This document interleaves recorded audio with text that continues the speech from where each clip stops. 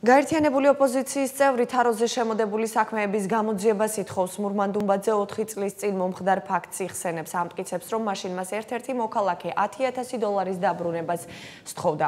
ეჭვი აქვს რომ შეგნებულად აშანტაჟებდნენ და პროკურორს ამის გამო დახმარებას თხოვა რაზეც დღემდე რეაგირება არ მომხდარა. დუმბაძე თვლის რომ პროვოკაცია ბიძინა ივანიშვილის დაკვეთით განხორციელდა. ოპოზიციონერის ბრალდებას შინაგან საქმეთა სამინისტროდან არ გამოხმაურებიან ქონდა მცდელობა იმისა, რომ მურმან დუბაძესთან დაეწყო პირადი ანგარიშწორება და ფულის და უკან დაბრუნების 10000 დოლარის უკან დაბრუნების მოთხოვნა. და რეალურად ამის შესაძლებლობა არ მიეცა, იმიტომ რომ სთხოვდა ქუჩაში გამოდი და დავილაპარაკოთო.